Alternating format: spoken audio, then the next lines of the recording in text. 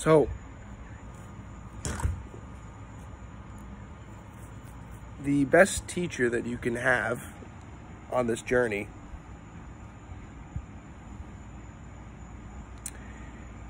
is that which already is, which is silent.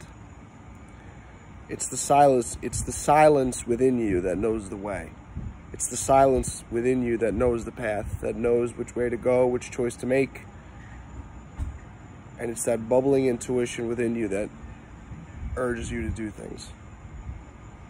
You know, pushes you in this direction, pushes you in that direction, all these things.